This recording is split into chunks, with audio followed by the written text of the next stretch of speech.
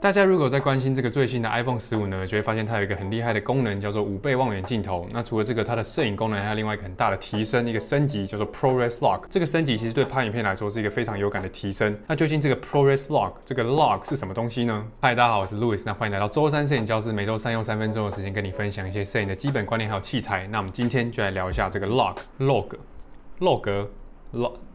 A lock，简单来说，lock 就是一种色彩模式。那使用这种色彩模式在拍摄影片的时候呢，相机或是手机会记录到最大范围的亮暗细节，这也叫做动态范围。什么意思呢？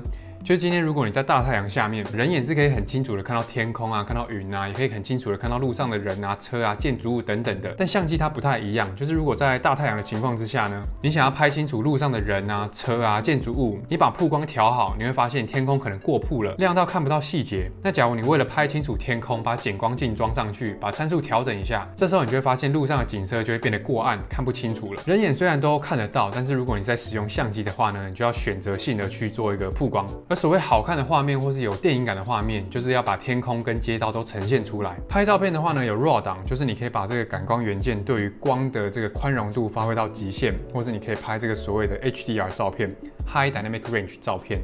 高动态范围的照片。那如果是拍影片的话呢，就是 log。用 log 拍摄的话，你就可以最大限度同时把天空亮部的细节跟街道暗部的细节都拍摄到。那当然不可能像眼睛一样，但已经是一台相机、一台手机能做到最极限的程度了。越贵的相机呢，或是说这种专门为拍电影啊、拍影片而生的相机呢，基本上它的动态范围就会越高。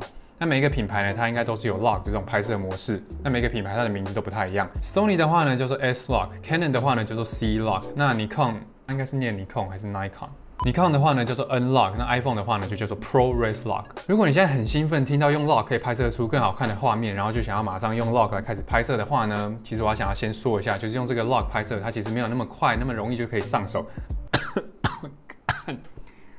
那拍 log 的话呢，有蛮多小细节跟地方是需要去注意的。那首先你会发现你拍出来的画面灰灰的，那其实这个就是 log 最原始的样子。那它也有一个别名啊，叫做灰片，因为相机就是利用这个方式来记录到它最大的这个动态范围。那你后期第一个步骤就是要先把这个颜色还原，还原成 Rec 七零九标准颜色，然后再开始调色。那简单来说，你拍 log 这个对于你的后期调色的经验跟能力是有一定的要求的。第二点呢，就是有些相机它在拍 S log 的时候呢，它是需要过曝的，像是我正在拍摄的这个 A7S。它的 S log 三就需要过曝，可能一点七到两档。那为的呢，就是要保护亮部细节，后期再稍稍微把整体的亮部压下去。第三点呢，就是在使用这个 log 拍摄的时候呢，尽量要使用它的原生 ISO base ISO。每台相机的这个 base ISO 呢不太一样。那以我的 A7S 三为例，base ISO 呢就是六百四十跟一万两千八，那这样子画质才会是最好的。